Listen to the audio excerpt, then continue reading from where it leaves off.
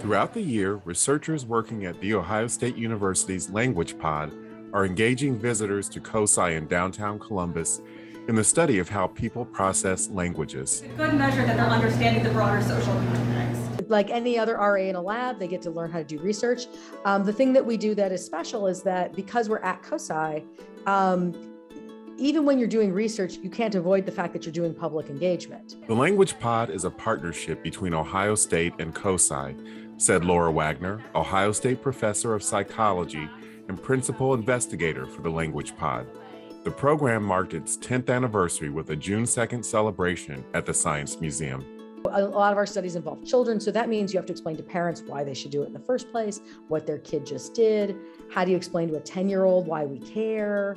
Um, so, all of it has this sort of public facing dimension to it. Language Pod researchers include students from community colleges as well as public and private four year institutions including Ohio State's main and regional campuses.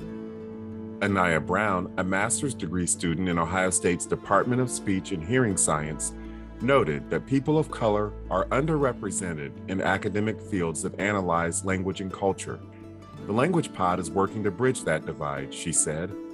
It's one of my favorite places that I've ever worked. For me to come back several years later and to still be working there is a great, you know, show of just like loyalty and just like support from that pod itself. And also, I want to just emphasize that the individual running our pod, Laura, is a super champion for just grabbing people from the global majority and putting them in positions to not only get these types of experiences, but also to put them in leadership positions.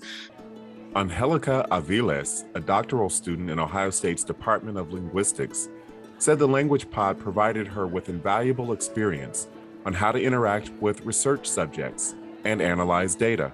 The pod brings informal science like to a to a different level, right? Because you see maybe like you try to do that in science fair where you try to teach kids, you know, different things, but I feel like the language pod is that little place at least for me as a linguist, that like you can make it accessible to other kids and like make them realize that hey, this thing that you're doing is actually very complex and you can do so many amazing things with it.